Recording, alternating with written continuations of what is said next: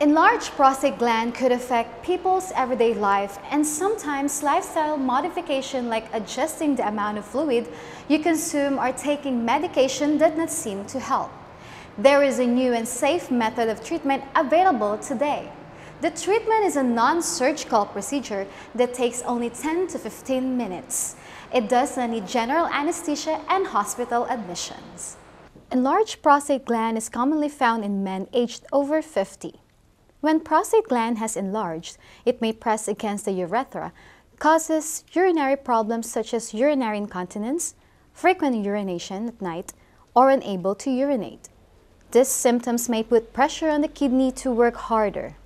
And if the condition becomes too severe, it could lead to kidney failure. The prostate gland is, is male organ and uh, it can be enlarged because of uh, the male hormone testosterone. So in the aging man, the prostate is get bigger if compared with the when, when we was child. Okay, so it can compress the, the urethral outlet pathway. So it can cause uh, the pee problem. If we know that we have the BPH in, in the mind problem, we can uh, change our lifestyle because uh, if we if sometimes we have the problem with the bowel, for example, we have constipation, it can interfere the P too. Okay, so if we can correct this problem, okay, the P problem is will be better. And uh, if we can change our lifestyle, uh, for example, if we take a lot of caffeine content within a day, if we can stop them or we can reduce them, the P problem will be better. If lifestyle modification doesn't improve the symptoms, medication may be needed to control urinary incontinence. Some cases need surgery for treatment. There are two standard surgical methods, but there could be a side effect from the surgery that involves retrograde ejaculation during sexual intercourse.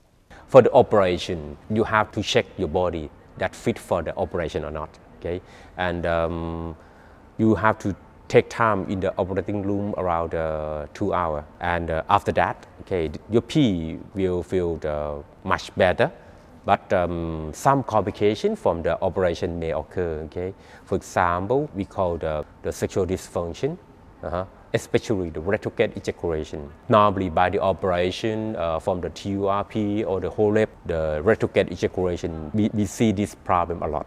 Currently, we have an innovative approach in treating enlarged prostate gland with less invasive method and the treatment is not only easy and quick to perform, but it also does not have a side effect like the surgery. This innovative treatment is known as Rezum Water Vapor Therapy. It uses water vapor-based technology to shrink the size of the prostate gland and widen the urethra. The procedure is done by an insertion of a small needle scope through the urethra into the prostate gland. The doctor will then inject water vapor into the gland. The vapor will be dispersed to destroy the prostate cells, causing the cells that are blocking the urethra to be damaged. Over time, the dead cells will then leave the body through a natural hearing response. After we do the Rezum, the patient will feel he pee is better. But uh, if compared with the standard, maybe uh, the standard is maybe better. But the sexual dysfunction from Rezum is quite low if compared with the standard operation. First, the man who don't want to take the medication for continuously. The second, the man who's still concerned about the, the sexual function. Uh-huh.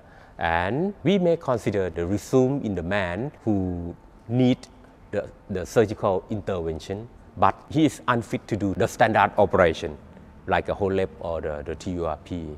Okay, we can choose to do the Rezum. Rezum therapy has been an effective treatment and a great choice for many patients.